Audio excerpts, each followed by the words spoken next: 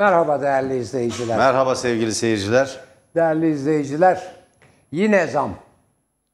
Ama bu sefer asgari ücrete değil, bütün piyasayı etkileyecek, bütün üretim ve tüketim mallarını, üretimi ve tüketim mallarını ve tabii üretim mallarını da etkileyecek olan e, benzine, motorine, LPG'ye falan zam. Bu kaçıncı zam?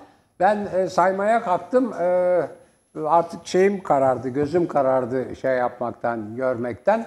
Ee, onu bir başka herhalde pazartesi günkü programa bir hafta sonu böyle tekrar salim kafayla oturup sayacağım. Çünkü hakikaten çok fazla.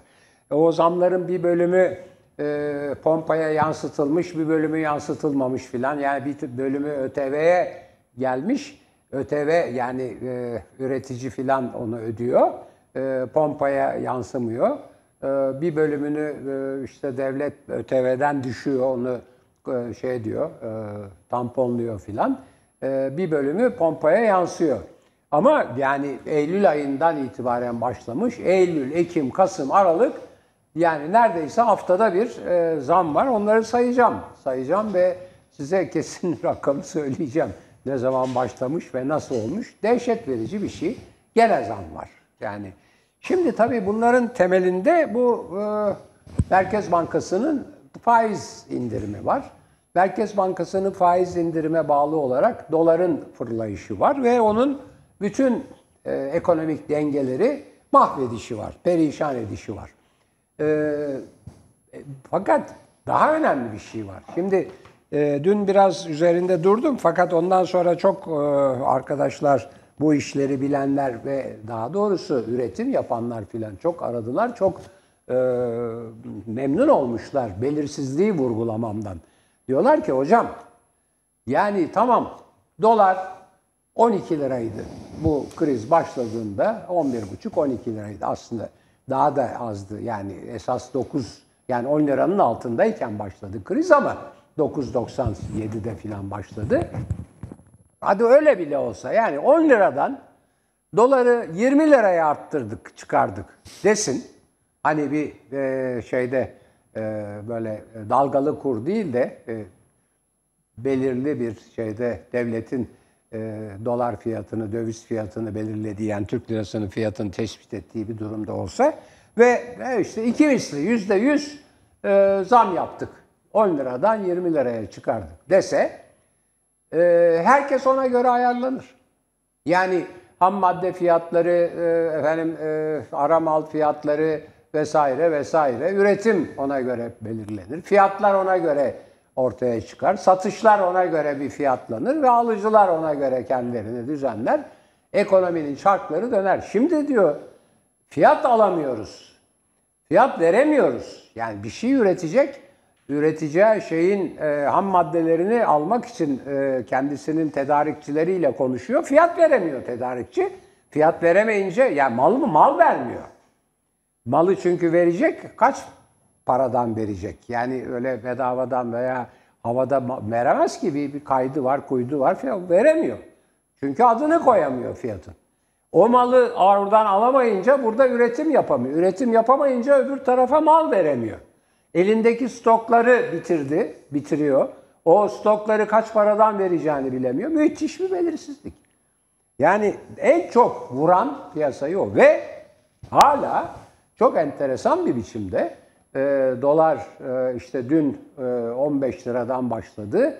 Bu iki açıklama yapıldığı sırada Merkez Bankası faiz açıklaması ve e, asgari ücret açıklaması e, bugün 17. Yani 16'nın sınırlarını bir ara 17'yi aştı tekrar indi filan. 2 lira. Dehşet verici bir durum. Ve daha ilginci bugün dolar tekrar yükseldiği için Merkez Bankası 5. defa şu kısa dönemde 3-5 gün içerisinde 5. defa dolar satmak üzere piyasaya müdahale etti. Dolar satıyor sürekli. Cari fiyat üzerinden inşallah öyledir. Belki daha bile altında. Çünkü kimlere satıyor, nasıl satıyor, kimler aracılığıyla kimler satın alıyor bilmiyoruz. Yani orada da çeşitli söylentiler ve iddialar var. Belli bankalar aracılığıyla, bankalara satıyor, bankalar aracılığıyla belli kişilere gidiyor filan gibi bir takım şeyler var. Bilemiyoruz ama hepsi çıkar. Çünkü bunların hepsi kayıtlı kuyutlu şeyler. Bilmiyor, bilmiyoruz. Ama bir şeyi biliyoruz. Yani bu 5 günde toplam yani 4 milyar dolardan daha fazla muhtemelen 5 milyar dolara yakın veya o civarda belki de aştı bilemiyoruz. Bir miktar dolar satıldı ve e, bu satılan dolar da olmayan dolarlar. Yani borç, swap e, bir takım şeyler ile yani Borç ileri- alınan dolarlar. ileri ileriye dönük alım borçları üzerinde olduğu söylenen dolarlar eğer şey olarak el değiştiriyorsa hakikaten bir kaynaktan öbür kaynağa gidiyorsa bankalardaki dolar e, mevduatlarından gidiyor. Bankaların elindeki dolarlardan gidiyor yani. Merkez Bankası bankalar üzerinden oradaki rezervleri kullanmaya başladı herhalde. Başka kaynak yok çünkü. Yani böyle bir e, felaket bir e, krizle karşı karşıyayız. Tekrar ediyorum. Belirsizlik Çünkü bankalar belli miktarda Merkez Bankası'nda para tutmak, Evet, döviz, evet. döviz tutmak Onları zorundalar. herhalde kullanıyor. Başka şey yok, başka kaynak yok. Fakat tekrar ediyorum. Felaket bu fiyat artışlarından daha önemli bir konuda. Belirsizlikte. Şimdi nasıl geldik buraya? Bunu niye yapıyorlar? Ha. Bunu şunun için yapıyorlar. Bu belli. Bakınız tekrar ediyorum. Bu yapılan iş belirsizlikle sakatlanmış olmakla birlikte IMF reçetelerinin uygulanması. Fakat IMF reçetelerin IMF, IMF reçetelerinden yani e, dünya e, para International Monetary Fund, Dünya Para Fonu, e, Uluslararası Para Fonu, IMF reçetelerinden daha kötü bir uygulama. Çünkü IMF reçetesi diyor ki kardeşim paranın değerini düşür, belli bir oranda yüzde 40 devalüasyon yap efendim falan falan. Ondan sonra işte işçi ücretlerini, e, devlet memuru maaşlarını, şunları bunları yükseltme veya o e, sebep olduğun enflasyonun altında tut veya bilmem 80 milyonu, 81 milyonu yoksullaştır. Oradan aldığı parayla dış bilmem e, borcunu kapat, bilmem ne yap işte falan filan yatırım yap falan diyor. Şimdi bu sefer o da denemiyor çünkü belirsizlik var. Yani e, bir toplumu ezen ve onun içinde e, hem devalüasyon adından hem de IMF reçetelerinden böyle şeytan isminden korkar gibi korkan iktidarların bu modeli uygularken hiç bahsetmedikleri, ağzına almadıkları bir model uygulanıyor. Ve sakatlanmış haliyle uygulanıyor. Şimdi bu bir. İki, sonuç ne olacak? Sonuç, bakın yeni bir terim. Hay Allah, keşke AKC'ci arkadaşlara söyleseydim önceden. Çünkü gelip soruyorlar bazen. Stag, stagflasyon. Enflasyon gibi bir şey ama stag, stagflation, stag, S-T-A-G, stagflasyon. Stagflasyon şu demek. Hem durgunluk stagnation'dan geliyor. Stagnation. hem Durgunluk içinde enflasyon demek. ve hem de fiyat artışı. Yani hem ekonomi büyüyemiyor, üretim devam edemiyor, alışveriş devam edemiyor veya işte çok minimumda devam ediyor. Durgunluk oluyor ekonomide. Hem de fiyatlar yükseliyor. Stagflasyon. Şimdi onunla karşı karşıyayız. Konuşanlar mesela bugün e, e, hem bir uzman hem de bir politikacı bunu söyledi. Yani hiper enflasyon demek istemiyorum deyip çok çok yüksek enflasyon filan diyorlar. Hiper enflasyon, stagflasyon ne mümkünse hepsini bu burada görüyoruz. Felaket bir durumda daha asgari ücret dün ilan edildi. Bugün gene bilmem kaç dolar kaybetti. Sadece dolar bazında değil, Türk lirası bazında, ekmek bazında veya altın bazında veya ne bileyim zeytin tanesi bazında kaybetti gene. Şimdi bunun hemen toparlıyorum. Oo çok konuşmuşum zaten. Peki sonra toparlarım. Yok Buyurun. hocam buyurun buyurun toparlayın. Yani, Hayır. Çok kabaca şunu söyle, söyleyip toparlayacağım. Bu kriz yani e, iktidarın bilinçli olarak uyguladığı bu reçeteye onları mecbur eden bu kriz neden çıktı? Çünkü kendileri de biliyor. Yazdık çizdik bunlar okuması yazması yoksa bile dinlemesi vardır herhalde. Şimdiye kadar dünyada ve Türkiye'de kim bunu yapmışsa o iktidar gitmiş. Hiç bunun şeyi yok, istisnası yok. Hepsi gitmiş. Ama gene de buna başvuruluyor. Neden başvuruluyor? Çıkmaz. Son çare, iflas. Peki buraya nasıl gelindi? Buraya çok basit, çok basit sebeplerle gelindi. Üretim durduruldu. Sanayi üretimi durduruldu. Ee, Cumhuriyet'in kurduğu bütün fabrikalar satıldı. İki, tarım üretimi durduruldu.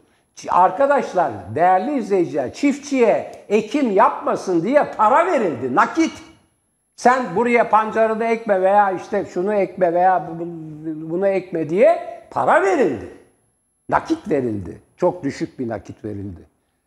Tarım ve sanayi üretimi durduruldu.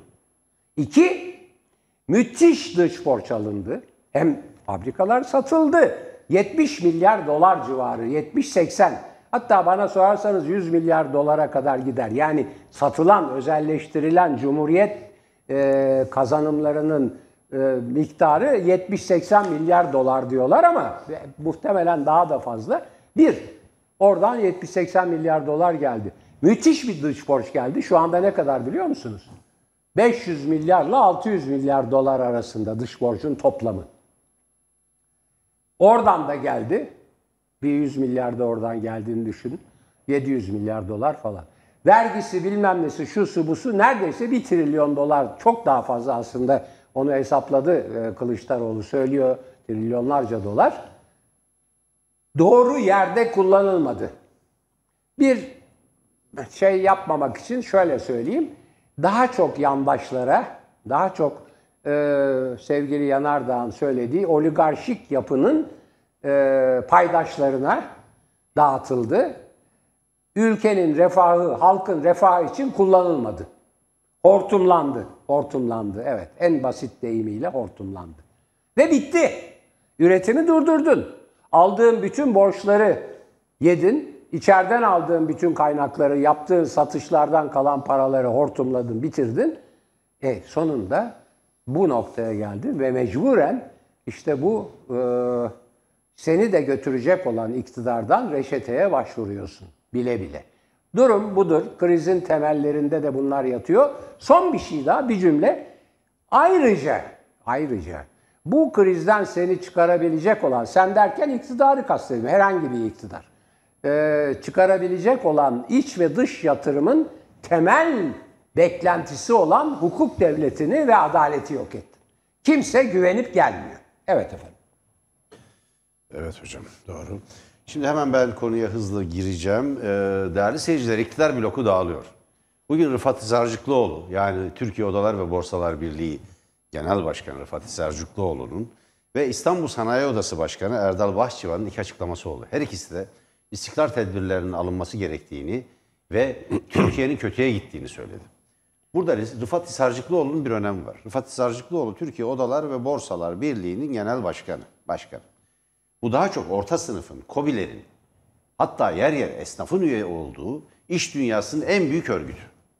Buraya büyük sanayiciler diyor ama diğerlerinden farkı yani TÜSİAD'dan farkı belli bir ticari kişiliği olan, ticari işletmesi olan her şeyin kendi iş kolunda ilk önce o odaya bağlanmak e, suretiyle bütün e, bütün e, mensuplarının, meslek mensuplarının üye olduğu yani esnafın, zanaatkarın, e, orta ölçekli, küçük ve orta ölçekli tüccarın, imalatçının, e, diye yani küçük ve orta boy işletmelerin kısaltılmasıdır KOBİ. KOBİ diye ifade ettiğimiz işletmelerin ve e, ticarethanelerin ve sanayicilerin ve tüccar erbabının üye olduğu en büyük örgüt. Bu örgüt uzunca bir süre AKP iktidarına kayıtsız şartsız destek verdi. Evet. Ve yanlış yaptılar. Bir meslek örgütü olmasına karşı üyeler arasında her siyasi eğilimden, her felsefi tercihten, farklı dinsel inançlardan insanlar olduğu halde AKP iktidarının Adalet ve Kalkınma Partisi'nin bir aparatı gibi çalıştı. Evet. Ve Hisarcıklıoğlu, Hisarcıklıoğlu haddini aşarak, terbiye sınırlarını aşarak, siyasi nezaket sınırlarını aşarak Kılıçdaroğlu'nun bir eleştirisine gel de burada boyunun ölçüsünü al, yarışa gir benimle diye bir de iktidar adına meydan okumaya kalktı. Ben o zaman buradan kendisini çok sert bir şekilde eleştirmiştim. Demiştim ki kim oluyorsunuz? Siz kim oluyorsunuz? Siz bir meslek örgütünün başkanı olarak tarafsız ve herkesi kucaklayan bir pozisyonda olmanız gerekirken siz bütün üyelerinizin AKP'li olduğunu mu zannediyorsunuz? Nasıl böyle bir seçilmiş en az 15 milyon insanın oyunu almış. İşte biz 4 milyon üyemiz olan büyük bir örgütüz filan. Ee, eğer öyleyse gelirsin burada boyunun ölçüsünü alırsın. Bak bak bak yani düzlemleri de karıştırıyor. Yani belli bir e, bilgi nosyonundan da yoksun. Yani elmalarla armutları yan yana koyabilen e, birisi olduğu için e, ben büyük tepki göstermiştim. Bir siyasi partinin genel başkanına gel odalar ve borsalar birliğinde aday ol. e, burada söyle lafını. Boyunun ölçüsünü alırsın gibi böyle tuhaf, saçma, yani hatta şey diyebiliriz. e, hem nezaketten hem bilgiden uzak e, bir yaklaşım sergilemiştir. Şimdi bu Hisarcıklıoğlu, bu Sayın Hisarcıklıoğlu. e, şimdi arkadaşlar tweetini yansıttılar. Bir daha verin arkadaşlar okuyalım. Şimdi şöyle diyor. Piyasalarda yaşanan çalkantı ve döviz kurlarının geldiği seviye birçok firma, firmamızı endişelendiriyor ve olumsuz etkiliyor. Piyasaların ivedilik ve istikrara kavuşmasını sağlayacak acil önlemler alınmasını ve öngörülebilirliğin temin edilmesini bekliyoruz. Hani buna good morning after supper derler. Hani öğleden sonra günaydın derler. Şimdi e, Sayın Hisarcıklıoğlu yani bu noktaya gelindiğini daha yeni mi fark ettiniz? Yani daha önce öngörülebilir miydi piyasalar? Birçok firm- firmanın endişelenmesi daha yeni mi gerçekleşti? Ekonomik krizin derinleştiği, Türkiye'nin bir felakete doğru sürüklendiği bir noktada sizler meslek örgütlerinin, iş dünyasının en büyük meslek örgütünün yöneticileri olarak bu konuda neden uyarı görevinizi yapmadınız? Sayın İstanbul Sanayi Odası Başkanı, onu biraz daha farklı bir yere koyabiliriz. Erdal Bahçıvan'ın bir başka e, tweet'i var arkadaşlar. Onu da getirelim. Erdal Bahçıvan da diyor ki, dün faiz indirimine giden Merkez Bankası'nın bugün elindeki kıymetli döviz kaynaklarını piyasaya sürmesini şaşkınlıkla izliyoruz. Evet gerçekten bütün Türkiye şaşkınlıkla izliyor. Buradan İstanbul e, Sanayi Odası'nın bir önemi var. Yani İstanbul sanayicileri Türkiye'nin lokomotifidir, dinamosudur. İstanbul sanayicileri. Türkiye ekonomisinin ya da özel sektörün, ekonomisi demesek de özel sektörün dinamosu diyebileceğimiz kişilerden ve işletmelerden oluşur. Bu nedenle Sayın Bahçıvan'ın uyarısı da yerinde. Ve doğru bir uyarı. Buradan çıkarttığımız sonuç şu. Bunlar geçmişte bırakın AKP iktidarını eleştirmeyi, deyim uygunsa, deyimi hoş görün, gıkını bile çıkartmayan kuruluşlar ve yöneticilerdi. Gıkını bile çıkartmayan. Hisarcıklıoğlu Rıfat Bey, AKP iktidarının militanı gibi çalıştı uzunca bir süre. Bir meslek örgütü. Yani sanki hiç CHP'li üyesi yok, sanki hiç İyi Partili üyesi yokmuş gibi davranıyor. Bir meslek örgütü başkanı olarak bir AKP e, partizanı gibi çalıştı. Bugün geldiği nokta burası. Bu iktidar blokunun hocam çözüldüğünü, dağıldığını gösteriyor. Tabii. İktidarın kaçınılmaz bir çöküşe doğru gittiğini, artık yönetemediğini ve AKP iktidarının kontrolü yitirdiğini gösteriyor. Bu bakımdan önemsiyorum. Buyurun hocam. Aa, teşekkür ederim. Şimdi değerli izleyiciler, e, bu demin söylediğim e, e, örgütü bir defa daha tekrarlayayım ve tarif edeyim. Siz de benim hafta sonunda yapacağım şeyi kendiniz yapabilirsiniz. TR küçük harf Türkiye herhalde kastediliyor küçük harf TR. EPGIS E P G I S E enerji P petrol G gaz yani enerji, petrol, gaz baş harfleri, İkbal istasyonları, sendikası, işveren sendikası, İkbal istasyonları, işveren sendikası. Üç tane iyi var ama bir tane iyi kullanmışlar orada. EPKİS, enerji, petrol, gaz, İkbal istasyonları, işverenler sendikasının Twitter hesabı var. Bu hesap muntazam olarak e, benzine, motorine, işte gaza e, ve e, petro, şey, sıvı gaza ve yani e, bu otomobillerde kullanılan gaza LPG'ye. e, LPG'ye gelen e, e, zamları belirtiyor. Eylül ayından itibaren sayın bir takım zamlar e, yansıtılmamış pompaya. ÖTV'ye yedirilmiş filan yani onu kim ödemiş ne olmuş onu çok iyi bilmiyoruz. Gene bizim cebimizden çıktığı muhakkak da biz görerek mi çıkıyor, biz görmeden mi çıkıyor? Yani yedirdiği zaman iktidar onu bir yerlere, bir vergilere o görmeden çıkıyor.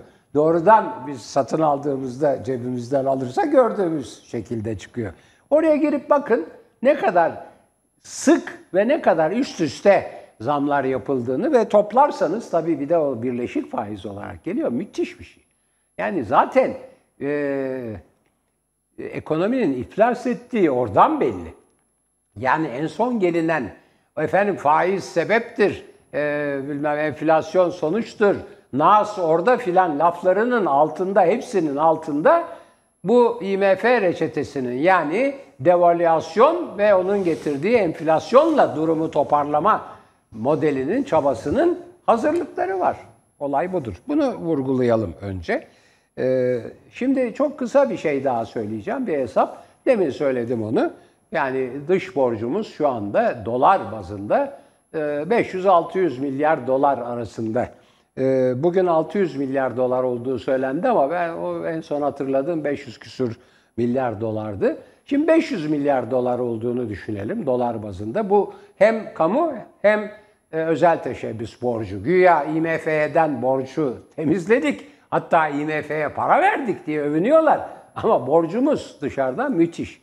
Bunun tabii en önemli sebeplerinden biri de bu müteahhitler vesairelere yapılan e, anlaşmalar. E, bir bire birin beş katı, on katı maliyetlerle e, yapılan ödemeler, daha doğrusu taahhütler, anlaşmalar ve onlara dayalı ödemeler falan, belki onların hesapları falan.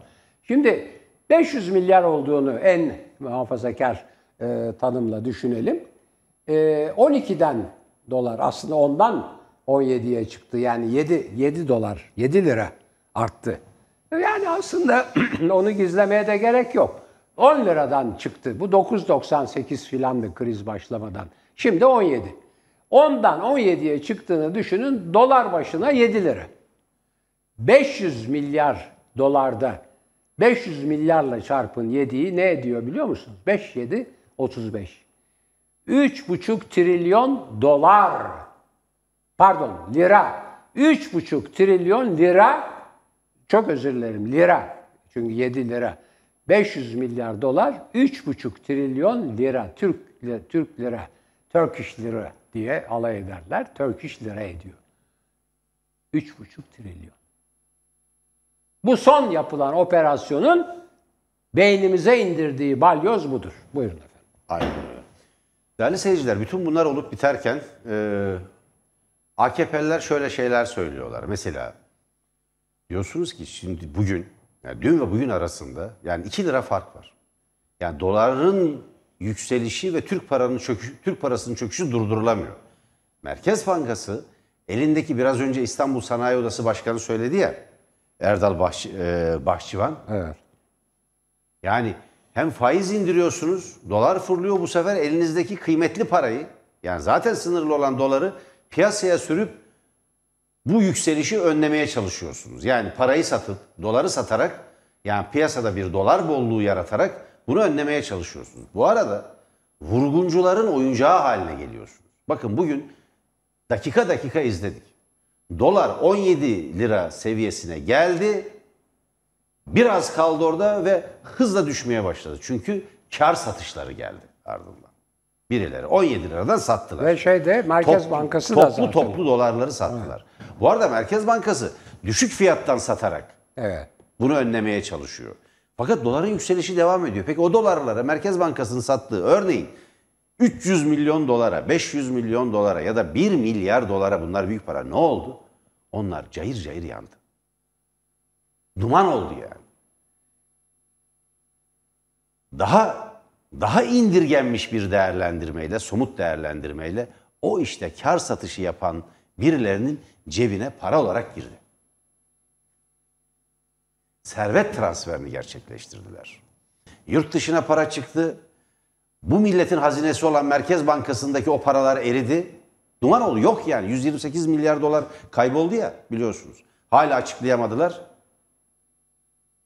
Damadın, damadın ve kayınpederinin operasyonu yani eee, sonucu ne olduğu belli olmayan, açıklanamayan bir nedenle 128 milyar doları piyasaya sürdüler ve buharlaştırdılar. Şu anda 37 milyar dolar olduğu söyleniyor da swap'la elde edilen bir para. Yani Katar parasını aldılar. Katar parasıyla dolar satın aldılar. Swap denilen şey budur. kısa vadeli borçlarını ve piyasayı piyasaya müdahale için e, araç olarak kullanmak ve kısa vadeli borçlarını ödemek için. Satın alacağız dediler. Yani aslında o da tam. Yok hocam bu, yani, bu, bu bir bu bir gerçek piyasaya Evet. dolar sürdüler birilerinin eline ve cebine evet, gitti o. Evet. Evet. Ya orada hayali bir şey yok. Gerçek anlaşma, bir anlaşma gerçek var, bir para var orada. Evet. Bu milletin parasını yaktılar. Bu milletin parasını rüzgara savurdular. Şimdi durum böyleyken şöyle tabloyla karşılaşıyoruz. Şimdi bunu söylediğiniz zaman durdurulamaz bir biçimde ekonomi çöküyor. Yoksulluk ve sefalet büyüyor. Ekmek kuyrukları uzuyor. Daha dün açıkladıkları, daha dün açıkladıkları asgari ücret bugünden itibaren erimeye başladı. Bugün o asgari verilen zammın %25'i gitti neredeyse bugün. Evet tabii. %25'i gitti neredeyse. Ve bir de övünüyorlar. Şimdi elimizde liste var bakın. Yıllara göre Disk'in yaptığı araştırmadan listesi var. En büyük zammı biz yaptık diyor. Hayır hiç, alakası ilgisi- yok. hiç ilgisi Hiç alakası yok. Hiç. %114, %120 zam yapılmış. Ücret artışı gerçekleşmiş daha önce asgari ücrette. Ve son büyük asgari ücretteki artış rahmetli Ecevit'in gider ayak yaptığı işçi sınıfına, çalışanlara, emekçilere yaptığı belki de bir katkı olarak en son yapılan en yüksek zam %64,8 ile 57. hükümet döneminde yapılmış. Bir başka gerçeklik şu. Enflasyon yüksekse zam da yüksek oluyor. Yani bunun şeyle e, e, büyümeden ve refahtan pay dağıtma ve reel bir artış yani gerçek bir artış sağlamakla ilgisi yok. İki günde bırakın iki gün içinde yani hafta sonuna geldi Allah'tan iki gün içinde verilen zammın neredeyse tamamını geri alacaklar. Bir ucuz iş gücü haline getirmeye çalışıyorlar. Peki ne oluyor? Hemen kısaca belirtelim. Bir e, hanım e, AKP milletvekili var arkadaşlar. Onun bir e, tweet'i var. Benzer bir konuşmayı mecliste yaptı. Gülay Samancı. Ya Türkiye ekonomik krize gidiyor. Kötü yönetiliyor diyorsunuz. Bayrak inmez diyor. Ezan susmaz. Şimdi ya diyorsunuz sefalet büyüyor, ekmek kuyrukları arttı, ezan susmaz. Ya, Susturamayacaksınız. ya bir dakika ya siz kimsiniz ya? Susturamayacaksınız. Siz ezanı kendi kütüğünüze mi geçirdiniz? Sizin özel mülkiyetiniz mi? Ezan bekçisi misiniz siz? Ezanı susturmak isteyenler bu ülkede kimler ya? Kimler yani? Kim susturmak istiyor? Bırakın palavrayı. Bırakın palavrayı. Ezanın ve bayrağın arkasına saklanmayın. O o bayrağı, o bayrağı yere düşüren sizsiniz. Türk parasını yere düşürdünüz. Türk parasını pul haline getirdiniz. Bir ülkenin onurudur, ekonomisinin onurudur paranın kıymeti. Şimdi bakın ne diyor? Milletimizi bölemeyeceksiniz. Bayrağımızı indiremeyeceksiniz. Ezber. Bir de elinden okuyor. Yani irticalen de ko- Ezber konuşamıyor. değil. Keşke ezber olsa. Ezberleyememiş. Hayır hocam işte bir İslamcı ezber var ya bir gerici Evet, ezber. ama kendi O da ezberleyememiş. ezberleyememiş. Vatanı parçalayamayacaksınız. Devletimizi yıkamayacaksınız. Bir dakika arkadaş. Vatanı ve devleti çökerten sizsiniz. Ya mesela ezanı kim susturmak istiyor bu ülkede? Bu ülkede somut olarak söyleyin. Ezanı susturmak isteyen kim? Ezan hiçbir zaman susmadı bu ülkede. Emin olun. O yüzden keşke Yunan kazansaydı dediniz siz. Çünkü Yunan kazansaydı dinimizi daha iyi yaşayacaktık diyenler sizsiniz. Sizin kültürünüz, o takip ettiğiniz fesli, tarih bilmeyen tarihçiniz. Peki devleti kim yıktı? Şimdi devam ediyor. Bu ülkeye diz çöktürmeyeceksiniz. Kim? Diz çökmüşsünüz, Kim? çökmüşsünüz. Evet, diz çökmüşler. Londra mahkemelerine kim diz çöktü? Tabii. Hayır size soruyorum. Siz mi diz çöktürdünüz bu memleketi Londra mahkemelerinde bu devleti? Siz mi diz çöktürdünüz? Hocam bu millet diz çökmez. Sadece sadece Yılmaz Özdil'e buradan e, selamlarımızı, sevgilerimizi göndererek söyleyelim. Bu ülkenin yurtseverleri diz çökmez. Ancak zeybek oynarken diz çökerler demişti. Diz çöken sizsiniz. Devlet- İngilizlerin önünde, Yunan'ın önünde diz çöken sizsiniz. Ben buradan bütün Rum kardeşlerime sevgilerimi, saygılarımı iletiyorum. Böyle bir hani önsel olarak bir düşmanlığım, karşıtlığım yok. Onlar söylüyorlar ya. Şimdi şuraya bakın. Bu halka boyunduruk vurduramayacaksınız. Ya siz bak şimdi bu arada da başka bir şey yapıyorlar. Siz Arap gericiliğini, Emevi ideolojisini din diye bu ülkede pazarladınız. insanlara dayattınız. Ondan sonra ya ekonomiyi batırdınız. İnsanlar yoksullaştı. Ve siz servetinize servet kattınız diyorsunuz, ezanı susturamayacaksınız. Ya bir dakika, vatan tehlike altında, ekmek kuyrukları uzadı, ekonomi çöküyor, Türk parasını batırdınız diyorsunuz, bayrak inmeyecek. Kim indirmeye çalışıyor bayrağı ya? Bayrağı siz indiriyorsunuz, siz farkında değilsiniz. Bırakın palavrayı. İnsanlar aç, sefil, sefalet içinde. Bakın zincir marketlerde çocuk mamalarının ve sütlerinin olduğu reyonlar kilit altına alındı. Niye biliyor musunuz? Çocuğuna süt ve mama, mama alamayan anneler onu çalmasın diye. Bakın annelik içgüdüsü soyun devamı içgüdüsüdür. Yaşama içgüdüsü kadar insanların, canlıların en büyük içgüdüsüdür. Bütün canlılarda vardır. Bakın yaşama içgüdüsü hani elinizi sallarsınız, gözünüzü bilinçsiz bir şekilde kırparsınız ya odur. Soyun devamı içgüdüsü ise annelik içgüdüsüdür işte. Soyunu korumak, çocuğunu korumak, bebeğini korumak. Onu koruyamayan annenin yaşadığı acıyı kimse tahayyül edemez. Gidin marketlere kilit vurulmuş durumda. Cemekan içine alınmış, cemekan içinde ve kilit vurulmuş üzerine. Niye böyle diyorsunuz? Ezan susmaz deniyor. Ya, ya şaka mısınız siz ya? Şaka mısınız gerçekten? Ya ezanı ve bayrağı kendinize kalkan, kendi yanlışlık istismarınıza, kendi zenginliğinizi ve ayıbınızı örtecek bir asma yaprağı olarak kullanmaya bir son verin. Bırakın bu palavrayı. Buyurun hocam. Evet. Diyanet İşleri Başkanı'na da geleceğim. O da insanların yılbaşı eğlencesine takmış. Bu ülke layık ve demokratik bir ülke. Sayın Diyanet İşleri Başkanı. Yabancı eğlence ne demek ya? Sizin Arap eğlencesini bu ülkeye dayatmanıza, bakın Arap kültürü, Arap halkı bunlar kadim bir kültür ve yüksek bir halktır. Ona itirazım yok ama Arap gericiliğini kalkıp onun adetlerini, bedevi adetlerini, aşiret adetlerini bu topluma e, bir e, Müslümanların geleneği diye dayatmanızı bir kenara bırakalım. Kim yabancı gerçekten? Kim yabancı ya? İnsanların bırakın nasıl eğleneceğini insanlar kendi karar versin. Özel hayatlarına müdahale etmeyin. Buna hakkınız yok. Buyurun hocam. Evet, şimdi değerli izleyiciler bu e, demin e, herhalde Merdan Bey bu devlete diz çöktürdü diye düşündüm. Bu millet kolay diz çökmez de devlete diz çöktürmeye çalışanlar var. Devlet çünkü bir yani tüzel Bir aygıt, bir bir, bir tüzel, aygıt, bir, bir tüzel, örgüt. tüzel kişilik. Efendim devleti Londra mahkemeleri önünde yargılatma hakkını veren kim? Hem de kime? Müteahhitlere. Rahip Branson'un serbest bırakılmasında kimin önünde diz çöktünüz? Mahkemelerinizi diz çöktürdünüz ya. Hadi o bir özel vaka. Ya böyle bir Hadi- şaka gibiler hocam Hadi ya. bir o bir özel vaka. Fitil fitil burnunuzdan getireceğim, bu paraları alacağım diyen Kılıçdaroğlu'na ha zor alırsın. Londra mahkemeleri var gibi yanıtlar verenler kimler? Hem bir maliyeti beşe ona mal edenlere iş yaptırıyorsunuz. Geçilmeyen köprülerden geçmeyenlerin güvencesini veriyorsunuz. Havaalanlarında kullanılmayan havaalanlarında o havaalanlarını kullanmayanların bedellerini güvence olarak müteahhitlere veriyorsunuz. Hem de onların karşılığında bir karşı bir şey çıkarsa, bir anlaşmazlık çıkarsa hakem olarak da Londra mahkemelerini yetkili kılıyorsunuz. Neyle veriyorsunuz bu güvenceleri? Dövizle.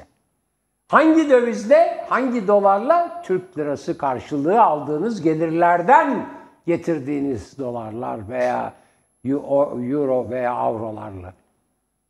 Yaptıklarıdır bu yap söyledikleri. Yaptırmayacağız dediklerinin hepsini yaptılar. Daha size maalesef çok üzülerek söyleyeyim. Ya Osmanlı'nın son devirlerini andırıyor. Kapitülasyonları andırıyor. Yani değerli izleyiciler iş yaptırıyor. İşi özel özel yani o e, yani bakınız o e, ihale e, yasasında yüz bilmem kaç tane değişiklik yapıldı bilmem kaç defa. Her değişiklik yüzden daha az, değişiklik sayısı yüzden az ama değişiklik maddesi yüzden fazla. O ihale yasasında yapılan yüzleri aşkın değişikliklerle özel bir takım ihalelerle, özel bir takım insanlara, özel bir takım işler gizli kapılar arkasında imzalanan anlaşmalarla veriliyor. Ne karşılığı? Döviz karşılığı. Dış para karşılığı. Kim yetkili kılınıyor bunlarda? Londra mahkemeleri. Kapitülasyonun başka adı var mı? Yok. Var mı başka adı? Çünkü o konsorsiyumlarda saymakla bitmez İtalya'dan Japonya'ya kadar pek çok yabancı sermayenin de payı var. Aynen Osmanlı döneminde olduğu gibi. Aynen o döneme döndü. Evet. Evet, buyurun. Ben bir daha soruyorum ve merak ediyorum. Gerçekten ya. Kim bu ezanı susturmak isteyenler? Ya ya bırakın palavrayı ya. Yalanı bırakın. Sahte bir düşman yaratmayın. Kim mesela? Cumhuriyet Halk Partisi mi? Yalan. İyi Parti mi? Kim? HDP mi? Tam tersine. Kur'an-ı Kerim'le miting düzenliyorlar diye eleştirdiniz. HDP alternatif devletin gönderdiği imamlarla değil, alternatif cuma namazları kılınması çağrısını yaptı. Kürt imamlar, Kürt din adamları büyük meydanlarda cuma namazı kıldırdı. O da değil. Yani yok. Öyle bir şey yok. Kim? Kim merak ediyorum. Yani mesela bir komünist partisi mi iktidara gelecek? Komünist partilerin iktidara geldiği ülkelerde ezan falan susmadı. Tam tersine. Laiklikten yanadırlar ve herkesin dini özgürlüğüne saygı gösterirler. Ya bırakın bu yalanı. Bu yalanı bırakın. Bu bir ortaçağ palavrası. Bir ortaçağ palavrasıyla bugün malı götürenlerin önüne bir perde çekmeye, gözlerine bir perde çekmeye çalışmayın. Bu malı götürmek lafı da çok oturdu. Yani yolsuzluk ve yağmayla zenginleşmiş, halkını yoksullaştırmış siyaset sınıfının ayıbını örtmeye çalışmayın. Yani daha e, sofistike ya da daha düzgün bir ifadeyle. Bunu yapmayın ya. Komik duruma düşünüyorsunuz. Bayrak inmez. Bayrak bir işgalde iner. İşgal etmek isteyenler var bu ülkeyi? Mesela Türkiye'de birisi işgal mi etmek istiyor? Bayrağı mı değiştirmek istiyor? Ben kimsenin böyle bir talebi olduğunu duymadım hocam. Siz duyuyorsunuz mu? Yok. Yani bırakın bu yalanı. Kimsenin bayrakta sorunu yok bu ülkede. Kimsenin ezanla da sorunu yok. Bir de bayrağın ve ezanın sahibi siz değilsiniz. Tekeli kurmaya çalışmayın. Yok öyle bir yağma. O yüzden Saadet Partisi'ni sürekli Millet İttifakı'ndan koparıp yanlarına almaya çalışıyorlar ve din ve din düşmanları arasında bir yarış gibi sunmaya çalışacaklar. Ben bir daha soruyorum. Arkadaşlar böyle kim bunlar? Kim? Kim? Bırakın palavrayı. Artık bıktırdınız. Artık yeter. İnsanlar bıktı sizin din ticareti yapmanızdan, bayrak ticareti yapmanızdan. Peki size somut bir soru soracağım. Niye Gezi direnişinde bayrak satan Ali amcayı tutukladınız? Herkesin elinde Türk bayrağı vardı Gezi direnişinde. Ben o dönemde yönettiğim gazetede yazı işleri masasına oturduğumda fotoğraflar geldi. Türk bayrağının olmadığı ve o bayrağa karşı tomalardan, tomalardan tazikli yani basınçlı su sıkılmayan tek bir fotoğraf karesi hatırlamıyorum. O çocuklar düşen bayrakları yerlerden alıp yine kaldırarak yürüyüşe geçiyorlardı. Ve o nedenle Taksim'de bayrak satan Ali amca var, bayrakçı. Onu da gözaltına aldılar. Millete bayrak veriyor diye, satıyor diye. Ben de gittiğimde arabayla gidiyordum. Öyle bir bayrakçıdan durdurdum. Bir tane bayrak satın aldım. Çünkü öyle bir şeydi ki gezi direnişçilerin simgesiydi Türk bayrağı. Bırakın öyle bayrağı falan sus. Yani bayrağı indirmek isteyenler yok. Bırakın bu yalanı ya. Hakikaten çok komik. Buyurun hocam. Yani ayıp ya. Evet. İnsanların aklıyla alay ediyorlar. Şimdi değerli izleyiciler, e, Ve Gezi'nin belki de hocam bir cümle en büyük meşruiyet kaynaklarından biri de oydu. tabii bayrak. Bu ülkenin hayır bu ülkenin bayrağıyla, inançlarıyla bayrak, hiçbir bayrak, sorun olmadı. Cuma namazı kılanlara müdahale edilmesin diye etrafına güvenlik çemberi kırdılar. Güvenlik çemberi oluşturdular insanlar ki bir provokatör gelmesin. Evet, evet. Şimdi değerli izleyiciler, e, biz burada konuşurken tabii e, bu e, programın izleyicileri ve Tele1 izleyicileri esas olarak ama özellikle de bu programın izleyicileri aynen e, Cumhuriyet Gazetesi veya Bir Gün Gazetesi okurları gibi çok bilinçli arkadaşlar. Derhal bir e, izleyici bir e, sosyal medyadan bir mesaj yollamış. Diyor ki hocam baktım saydım diyor 1 Eylül'den itibaren bu EPKİS söylediğim e, internet e, sitesinin e, tweet Enerji tweet- İşverenleri Sendikası'nın e, Evet. şeyi internet sitesi. e, Twitter adresine bakmış. 1 Eylül'den bu yana 38 kez zam yapılmış. Şimdi ne demek biliyor musunuz? 1 Eylül'den bu yana 38 kez zam. Yani 1 E- Eylül, Ekim, Kasım, Aralık. Aralık da bitmedi ya siz Aralık'ı da 12 saysanız yani 48 e, değil mi? 4 e, 48 günde 38 kez ki onun 15'i de yok. İki gün, yani hemen her, her gün. her yani gün aşırı gün aşırı ve daha bazen de sık iki gün üst üste zam yapılmış demek. Bu bir. İki, ikinci bir şey. O kadar alt üst oldu ki piyasa. Ancak piyasalarda çok büyük bir bunalım çıktığı zaman kapatılan borsa, İstanbul borsası bugün iki kez kapatıldı. Hocam bayrak inmez. Bayrak inmez borsa kapatılır ve ve ve Merkez Bankası İnsanlar o- o- açlıktan çocuklarını besleyemi- besleyemiyor. Ezan susmaz. Evet ama ama Cevaba ama bak ya. Yani hem borsayı kapatırsın. ben fena halde tutuldum bu cevaba. Evet, Yani hem borsayı kapatırsın, hem borsayı kapatırsın, hem de ondan sonra Merkez Bankası'na dolar satarsın daha ucuzdan.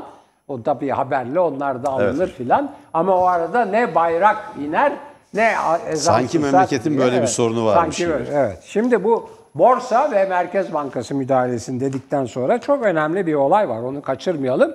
Bu arada asla e, ideolojik e, saplantıları ve takıntıları da ihmal etmez iktidarımız.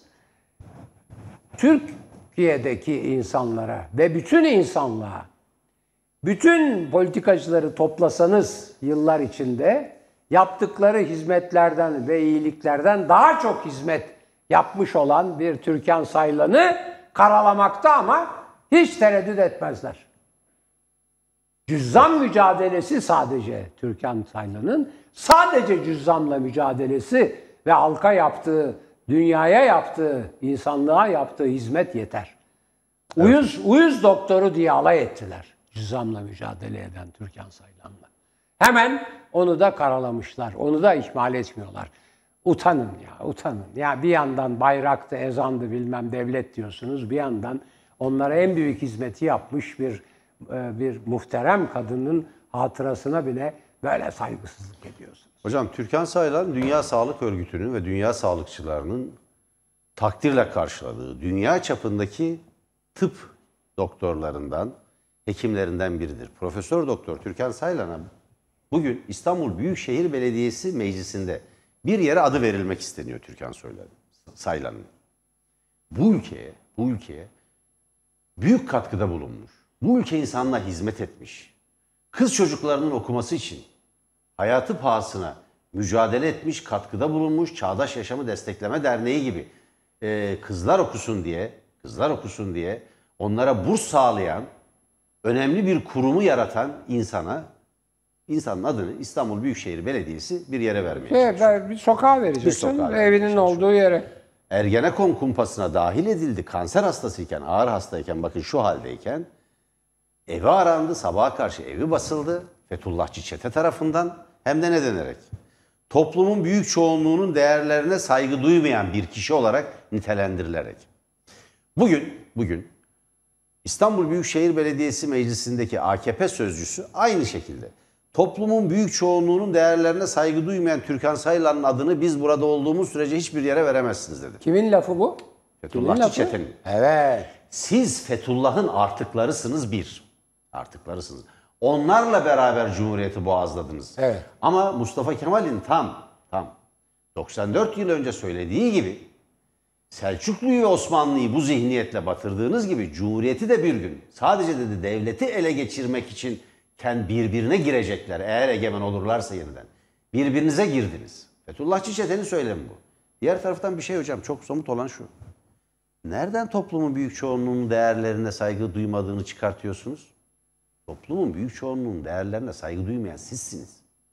Muaviye ideolojisini din diye dayatıp bu toplumun kültürüyle, bu toplumun gelenekleriyle, bu toplumun töresiyle, ahlakıyla oynayan sizsiniz. Bir dakika. Kendi şeriatçı ideoloji, ideolojinizi, o dar siyasal İslamcı çizginizi Milletin değerleri diye yutturmaya kalkmayın. Bunu sürekli tekrarlayarak genel kabule dönüştürmeye çalışıyorlar. Bakın, milletin değerleri dediğiniz şu anda oylarınız %25 civarında. Göreceksiniz %20'lerin de altına inecek. Ne olacak? Millet değersizleşti mi olacak? Değerlerini yitirdi, ahlaksızlaştı mı? Yani AKP'ye oy vermeyenler ahlaksız mı oluyor bu anlayışa göre? Ya da dinsiz, insanların dinine, diyanetine, inancına saygı duymayan, onlara hakaret eden kişiler mi oluyor? AKP'ye oy vermeyenler. AKP'nin zihniyeti şu hocam. Milletin değerleri diye kendi ideolojik programını milletin değerleri diye yutturmaya kalkıyor. İki, Türkiye'de dinin de, diyanetin de, inancın da tekelinin kendilerinde olduğunu söylüyor. Böyle bir şey yok. Milletin değerleriyle sizin ideolojinizin arasında hiçbir ortak yan yok. Sizdar bu memlekette yüzde sekiz on civarında bir cumhuriyet düşmanı şeriatçı bir çizginin anlayışını bize milletin değerleri diye yutturmaya kalkıyorsunuz. Buna izin vermeyeceğiz, buna geçit vermeyeceğiz. Merak etmeyin biz buradayız. Bu tıpkı biraz önceki milletvekili gibi. Ezan susmayacak. Sanki ezan susturmak isteyenler var. Bayrak inmeyecek. Bayrakla savaşanlar var sanki. Bir de milletin değerleri. Milletin değerlerinin tekeli sizde mi ya? Nereden çıkarttınız milletin değerlerinin e, sözcülüğünü ve sizin inandığınız gibi inandığını milletin? E, milli irade yalnız onlarda. Böyle bir şey yok. Yarın siz seçimi kaybettiğiniz zaman veyahut ANAP gibi eriyip mum gibi söndüğünüz zaman ne olacak? Millet değersiz, ahlaksız, Ve iradesiz. yoz ve, iradesiz mi olacak? Bırakın bu palavrayı ya. Yeter ya. Bıktırdılar. Biri de evet bu bir siyasi tercih diyor. CHP temsilcisi göre şeye veriyor. Bu bir siyasi tercih. Ha bu olur. Bu sizin siyasi tercihiniz. Milletin değerleriyle alakası yok. Bu sizin o dar, orta çağ artı ideolojik çizginizin bir sonucu. Bu ülkeyi orta çağa iade edemeyeceksiniz. Diyanet de bugün demiş ya işte.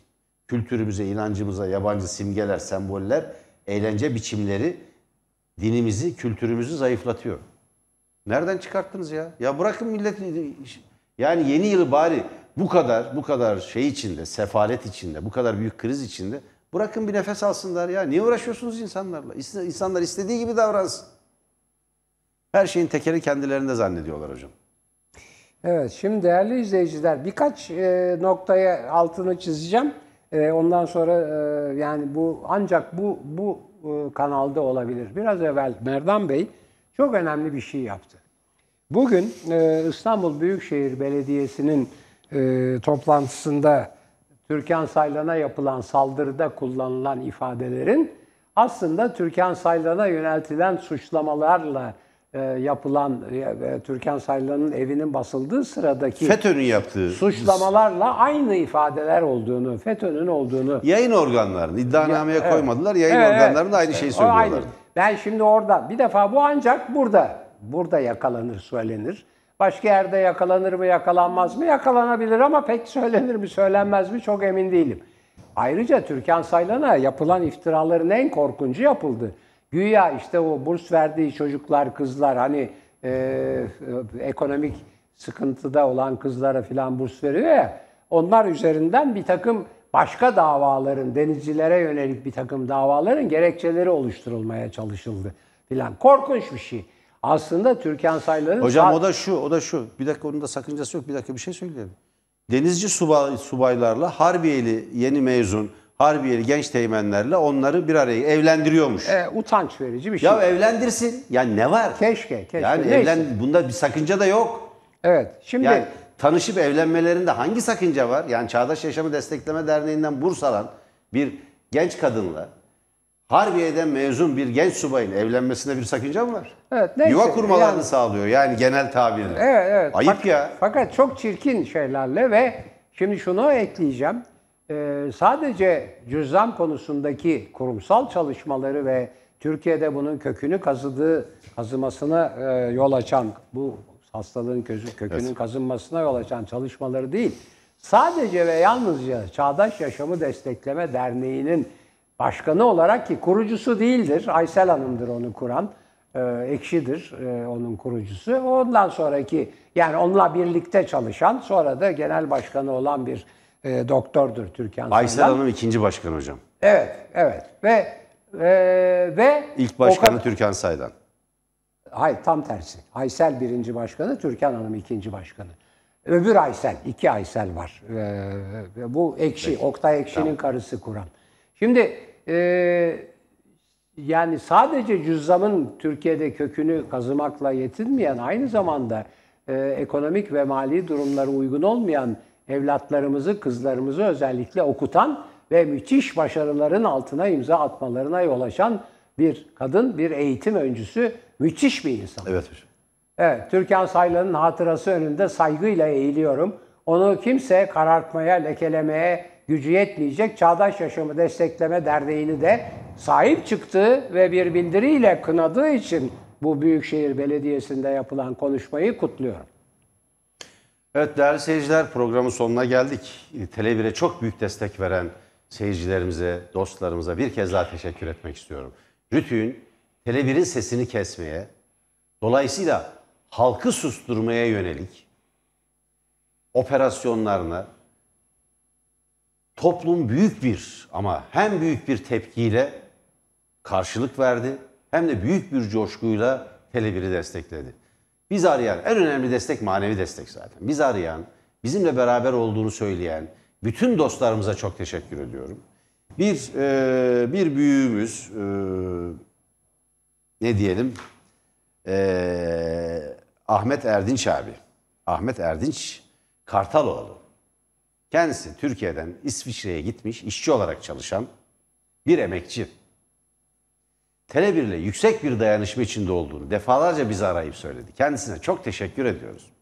O yüzden e, Sayın e, Ahmet Erdinç Kartaloğlu'nun kişiliğinde, Ayşe Hanım'ın kişiliğinde, Sevgi Hanım'ın kişiliğinde, Atilla Bey'in kişiliğinde bize destek veren, bizimle dayanışma içinde olan bütün yurttaşlarımıza, bütün dostlarımıza, bütün izleyicilerimize çok teşekkür ediyorum. Bizden hemen sonra arena programı var. Bugün arena günü. Uğur Dündar'ın, Uğur Dündar'ın hazırlayıp sunduğu mesleğimizin duayeni Uğur Dündar'ın hazırlayıp sunduğu Demokrasi Arenası tam saat 21'de Tele1 ekranlarında olacak. Emekli Amiral Türker Ertürk programın konuklarından biri. Profesör Doktor Ahmet Saltık Türkiye'de korona ile mücadelenin en önemli isimlerinden biri. Ama bir toplum bilinci, bir siyaset bilinci aynı zamanda kendisi. Türkiye siyasetin ve e, Türkiye'nin gündemini değerlendirecek. Ahmet Saltık değil mi? Evet, Ahmet müthiş Saltık, bir adam, evet. müthiş bir adam. Ve sevilen mizahçı, stand-upçı, bunu bütün özellikle genç seyircilerimiz, yurttaşlarımız çok iyi bilecektir. Kaan Sekban programı konukları arasında. Ayrıca bir dizi bağlantıda yapılacak programda başka sürpriz konuklar da olacak. Günü ve gündemi değerlendirecekler. Türkiye'nin nereye gittiğini tartışacaklar. Demokrasi arenasını kaçırmayın, Tele1'den ayrılmayın. Hoşçakalın. Sağlığınızı ve haysiyetinizi korumayı unutmayın asla. Kriz bitecek, siz kalacaksınız. Sağlıklı ve haysiyetli olun. Görüşmek üzere.